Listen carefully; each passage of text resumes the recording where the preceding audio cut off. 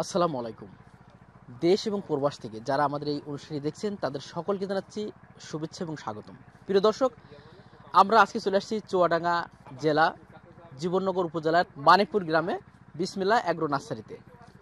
দর্শক বন্ধু, আমরা আপনারা লক্ষ্য করবেন, আমরা গত বছর আমরা এই সজল ভাইয়ের এই মালটা এবং কমলা বাগানে আসছিলাম। তো আজকে আমরা এখন অবস্থান করছি সেই কমলা বাগানে গত বছরের তুলনায় এখন বাগানের অবস্থা কেমন এবং একটু দেখায় আপনাদেরকে যে কি চমৎকার মানে কি সুন্দর সাইজ এখন আমরা সজল ভাইয়ের সঙ্গে একটু ঘুরবো, আপনাদের এই কমলাটা দেখাবো। আপনারা দেখতে পাচ্ছেন এ টু জেড গাছগুলোই কি পরিমাণ আসলে এই কমলাটা আসলে গাছে আছে। তো আমরা বেশ কিছু গাছ ঘুরে ঘুরে দেখাবো এবং ভার সঙ্গে বিস্তারিত কথা বলব। চলুন দর্শক। দর্শক, আমাদের আসলে দুটা মেহমান আসলে দিনাজপুর থেকে এই সজল ভাইয়ের নার্সারিতে আসছে শুধুমাত্র এই কমলা বাগানটা দেখার জন্য। ভাই কেমন আছেন প্রথমে? আসসালামু আলাইকুম রহমতুল্লাহ বরকাত আমি মোহাম্মদ আজহারুল ইসলাম চৌধুরী। আমার বাড়ি হলো ঠাকুরগাঁ জেলা। আমি থাকি দিনাজপুর শহরে। আমি বেশ কিছু সজল ভাইয়ের মানে কমলা এবং মালটার প্রতিবেদন অতীতে দেখছি। আমার নিজেরও বাগান আছে। আমার আম বাগান আছে পনেরো একর। আম বাগান কিন্তু এখন একটু খারাপ অবস্থা। জি তা আমি ওনার এই বিভিন্ন প্রতিবেদন দেখে একটু উৎসাহিত বোধ করতেছি যে আমি যদি কনভার্ট করে মালটা যেতে পারি বা কমলা যেতে পারি, তাহলে হয়তো বাণিজ্যিকভাবে লাভবান হব। এই উদ্দেশ্যেই আসা সকালবেলা আমরা আসি আসে কমলা খেলাম বিভিন্ন ওনার কমলা। তা আলহামদুলিল্লাহ আমার কাছে মনে হয়েছে যে বাণিজ্যিকভাবে আমের তুলনায় এগুলো ভালো হবে। ভালো হবে। আচ্ছা ভাই একটু কথা বলি যে আপনি হ্যাঁ যেহেতু অনলাইনে অনেক ভিডিও দেখছিলেন তো এই যে ভিডিওতে যেটা দেখছিলেন এই সে- সেখান থেকে কোনো তফাৎ দেখতে পারছেন না কেমন? সরাসরি সে কি দেখতে পাচ্ছেন না ওই ওই জিনিসে ওই জিনিসে। আমি যা যা দেখে মানে ভিডিওতে যেভাবে দেখা দেখছি সেটাই আসে দেখলাম খাইলাম খাওয়ার পরে দেখলাম যে না মোটামুটি মানে বাজারে চলবে। বাণিজ্যিকভাবে কমলাটা হয়তো লাভজনক হবে। এই জাতের মানে স্বাদের দিক থেকে কেমন মনে হচ্ছে আপনার স্বাদের দিক থেকে আলহামদুলিল্লাহ। আলহামদুলিল্লাহ। কমলা তো গাছে এখনও যথেষ্ট আছে। আমার নিজেরও কিছু কমলার গাছ আছে দার্জিলিং কমলার। হ্যাঁ। হ্যাঁ তা দার্জিলিং কমলার তুলনায় এই গাছটাতে আমার বিয়ারিং বেশি মনে হচ্ছে বেশি মনে হচ্ছে। দার্জিলিং করলাম কিন্তু একটা বড় সমস্যা সানবান। হ্যাঁ। এটাতে কিন্তু সেটা আমার চোখে পড়ে নাই। মানে সানবান বিরাট সমস্যা বাণিজ্যিক আকারে দার্জিলিং কমলা করতে গেলে এই সানবান থেকে কমলা ঠেকানো ভাই খুব কঠিন। একটা দুটা গাছ হয়তো আমি ঢেকে রাখব। এখন শ শ গাছ কীভাবে ঢেকে রাখব? কিন্তু এটা এখানে সমস্যা নাই। সমস্যা হয়নি। যেটা বাণিজ্যিক হিসেবে এই আমার কাছে মনে হয়েছে এই জাতগুলি অনেক ভালো। এটার কারণ কি পেঁপে গাছের ছায়ার কারণে না অন্য কিছু? না না না এটা আপনার তো সব জায়গায় সব রকমই আছে। আপনি যে কোনো জায়গাতে ফল চেক করে দেখতে পারেন। কোনো রসের কোনো না এটা এটা অনুমান দেখছি দক্ষিণে আর পশ্চিমে রোদ সানবান বেশি লাগে।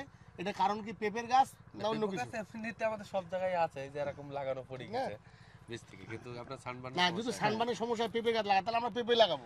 আমাদের গাছ বাঁচানোর জন্য। না না, হ্যাঁ, ওইটাই আর কি।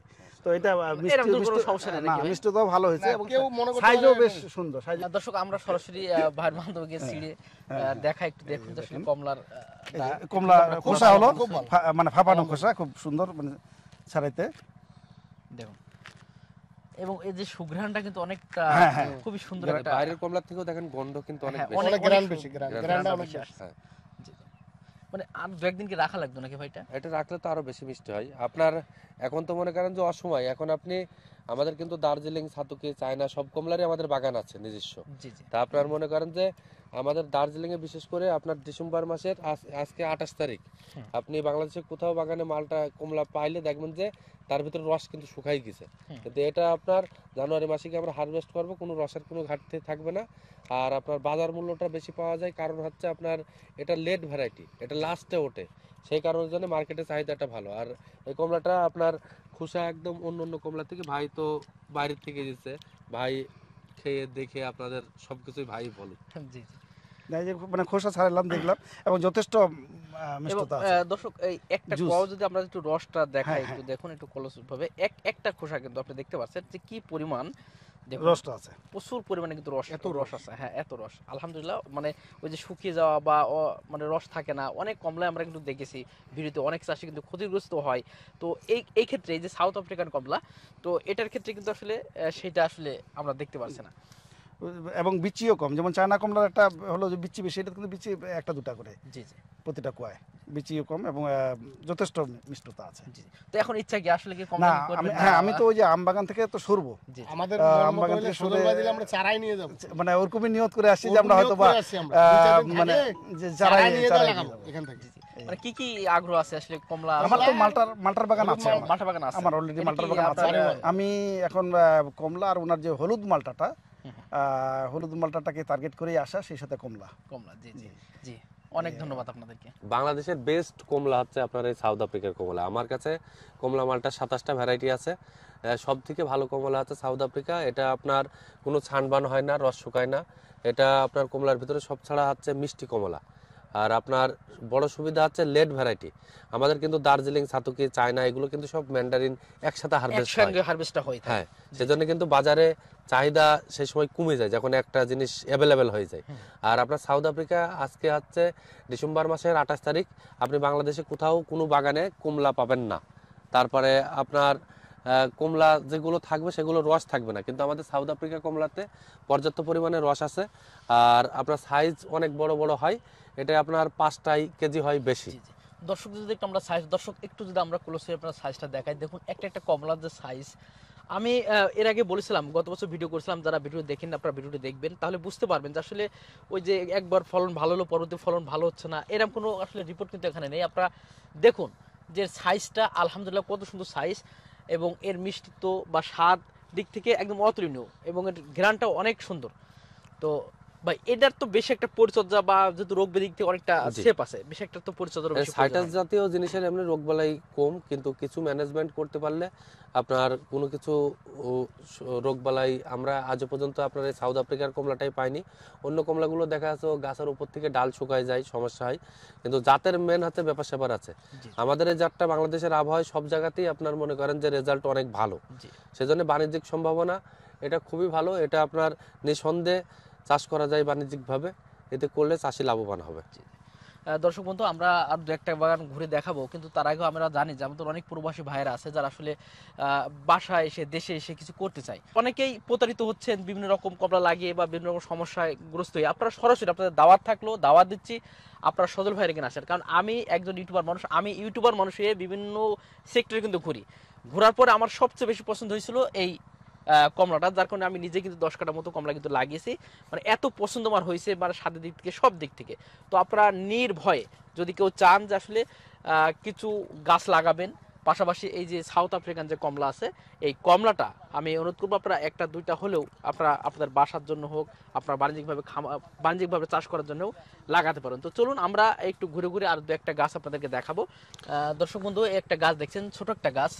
এই গাছে এই ফলনটা দেখুন কি পরিমাণ ফলন হয়েছে? বা এটার বয়সটা আসলে হ্যাঁ, এটার বয়স আছে দুই বছর। আমার এই বাগানে আমি প্রথমে সাতান্নটা গাছ লাগিয়েছিলাম। আপনার ওই গাছগুলোর বয়স ছয় বছর চলছে। ওই গাছগুলোই প্রতিটা গাছই ওরকম মনে করেন যে দেড়শো কেজি একশো সত্তর কেজি করে মাল কমলা আছে। আর দুই বছর গাছগুলোই আমাদের পনেরো কেজি বিশ কেজি করে ফল আছে। আমাদের প্রতিনিয়মিত বিভিন্ন জায়গার থেকে, দেশের বাইরের থেকেও লোক আসছে আমাদের এই সাউথ আফ্রিকার কমলা দেখতে। দেখে সবাই খাচ্ছে, খেয়ে সবাই প্রশংসা করছে আর প্রতিদিন এরম বিভিন্ন জায়গাতে, বিভিন্ন জেলার থেকে মোটিভেশন টিমরা আসছে। ফল খাওয়াইতে খাওয়াইতে ফলের এখন অনেক ফল কমে গেছে। তারপরেও আল্লাহর রহমতে এখনও পর্যাপ্ত পরিমাণে ফল আছে। এই যে ভাই মানুষজন আসছে যে সাউথ আফ্রিকান কমলা বাংলাদেশের মাটিতে এত চমৎকার চমৎকার কমলা মানে কেমন লাগে অনুভূতিটা? এটা আমার তো ভালো লাগছে। আমি গত বছরও প্রায় আপনার ওরকম দশ বারো লাখ টাকার কমলা মানুষের খাওয়াইছি।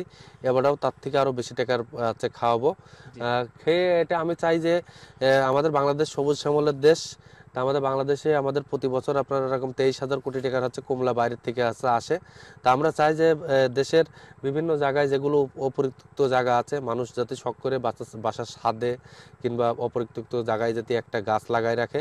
এখানে আপনার লেবুর চাহিদা পূরণ হবে, ভিটামিন সির চাহিদা পূরণ হবে, এতে দেশে বেকারত্ব মুক্ত হবে যদি বাণিজ্যিকভাবে এটা চাষ করতে পারে। তো প্রিয় দর্শক, তো আমরা আসলে মোটামুটি আপনাদের এই কমলা বাগানটা ঘুরিয়ে দেখাছিলাম যে সাউথ আফ্রিকান কমলা। তো আলহামদুলিল্লাহ এর, তো দেখতে পেলেন আপনারা। তো আমি বলব, যারা আসলে বেকার আছেন, যারা আসলে কিছু করবেন ভাবছেন, তারা যদি চান যে আসলে আসলে একটা কমলার বাগান করবেন, আপনারা সরাসরি সজল ভাইয়ের এখানে আসতে পারেন। আমি সজল ভাইয়ের নাম্বারটা আপনাদেরকে দিয়ে দিচ্ছি। নাম্বার দিয়ে, কারণ সজল ভাই কিন্তু একশো বিশ বিঘে এরিয়া নিয়ে কিন্তু আসলে বিভিন্ন রকম প্রজেক্ট আছে। তো এই প্রজেক্টগুলো আপনার দেখে শুনে যেটা আপনার মনে হয় যে, না, এটা করলে আপনার জন্য ভালো হয়, যেটা আসলে মিষ্টাত্ব সব কিছু দেখে আপনি যখন বুঝবেন, তখনই আসলে আপনারা সেই চেষ্টা করতে পারবেন। তো আমি বলব, আপনারা আসেন, আর এসে দেখুন, দেখে শুনে আপনারা বুঝে শুনে একটা কাজ করুন। কারণ আমাদের দেশে হয় কি যে যখন কোনো পণ্য বা যখন কোনো জিনিস হয়, তখন অনেকে কিন্তু তাড়াহুড়ো করে অনেকে গাছ টাছ লাগিয়ে ফেলে। মানে যাচা বাছা করার আগেই। তখন দেখা যায় সেই চাষি কিন্তু ক্ষতিগ্রস্ত হয়ে থাকে। তো আমি বলব যে আপনারা আসুন, এসে দেখুন, দেখার পরে আপনারা সিদ্ধান্ত নিন। আর যারা চাচ্ছেন যে আমাদের এই সরাসরি আমরা তো আপনাদেরকে দেখাচ্ছি বা আপনাদের এই বিষয়গুলো জানাচ্ছি, আমরা গত বছর কিন্তু এই কমলা চাষটা নিয়ে ভিডিও করেছিলাম। আলহামদুলিল্লাহ সেখানে কিন্তু প্রচুর রেজাল্ট আসছে এবং আমি নিজেও কিন্তু লাগিয়েছি। তো আপনারা যদি চান যে আপনারা নাই সাউথ আফ্রিকান কমলা লাগাবেন, চাষ করবেন, তাহলে আমি বলব যে আপনারা যে নাম্বার দেওয়া আছে ভার সঙ্গে যোগাযোগ করে পরামর্শ নিতে পারবেন এবং পাশাপাশি সরাসরি এখানে আসতে পারবেন। তো সবাই ভালো থাকবেন, সুস্থ থাকবেন। আল্লাহ হাফেজ।